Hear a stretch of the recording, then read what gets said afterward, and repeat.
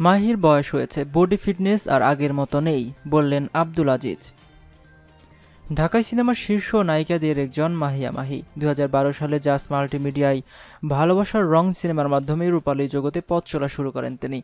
একই প্রযোজনা প্রতিষ্ঠানে অগ্নি এবং অগ্নি টু সিনেমার সাফল্যে অগ্নিকন্যা হিসেবে পরিচিতি পান নায়িকা। এবার নির্মিত হতে যাচ্ছে অগ্নি থ্রি, তবে সেখানে দেখা মিলবে না মাহির।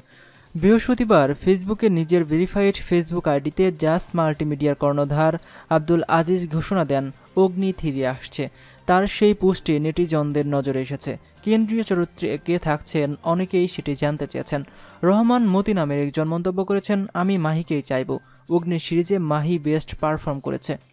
সেই মন্তব্যের জবাবে আব্দুল আজিজ লিখেছেন, বর্তমানে মাহির বডি ফিটনেস এবং ফ্লেক্সিবিলিটি নেই, বয়স হয়েছে। এটা অগ্নি থিরি, একদম নতুন গল্প, তাই এখানে মাহির থাকা উচিত নয়। আব্দুল আজিজের মন্তব্যের নিচে নেটিজনদের অনেকে অনেকে মন্তব্য করেছেন তারা অগ্নি থ্রিতে নায়িকা হিসেবে মাহিকেই চান এমন দাবি জানিয়েছেন। কেউ অনুরোধ করেছেন, মাহিকে কিছুদিন সময় দিন, সে ফিট হয়ে যাবে। তবে পরবর্তীতে আব্দুল আজিজ আর কোনো মন্তব্যের জবাব দেননি।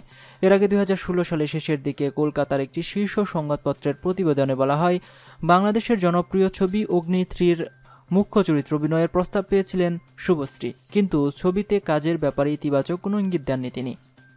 প্রসঙ্গত বর্তমানে সিনেমায় ব্যস্ততা কমিয়ে গাজীপুরে গড়ে তোলা নিজের রেস্তোরাঁয় সময় দিচ্ছেন মাহি।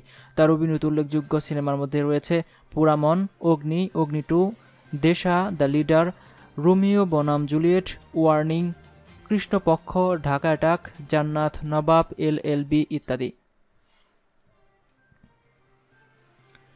অন্যদিকে নিজস্ব প্রযুক্তির যুদ্ধ ড্রোনের সফল পরীক্ষা চালালো ভারত। দেশীয় প্রযুক্তিতে তৈরি নতুন যুদ্ধ ড্রোনের সফল পরীক্ষা চালিয়েছে ভারত। ভারতীয় প্রতিরক্ষা গবেষণা সংস্থা defence research and development organisation বা ডিআরডিও এই পরীক্ষা চালিয়েছে। শুক্রবার সংস্থার পক্ষ থেকে একটি বিবৃতিতে জানানো হয়েছে, শুক্রবার কর্ণাটকের চিত্রদুর্গের অ্যারোনটিক্যাল টেস্ট রেঞ্জ এ ওই যুদ্ধ ড্রোনের সফল পরীক্ষা চালানো হয়।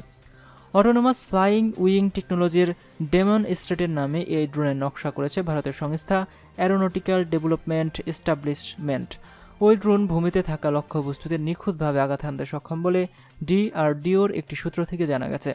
তবে শুধু ভূমিতেই নয়, পাশাপাশি আকাশে শত্রু ড্রোনকে চিহ্নিত করে আকাশে সেটিকে ধ্বংস করার প্রযুক্তিও এই ড্রোনে অন্তর্ভুক্ত করা যায় বলে দাবি করা হয়েছে। আজকের মতো এ পর্যন্তই ছিল। ভিডিওটি সম্পর্কে আপনাদের মতামত অবশ্যই কমেন্ট বক্সে কমেন্ট করে জানাবেন।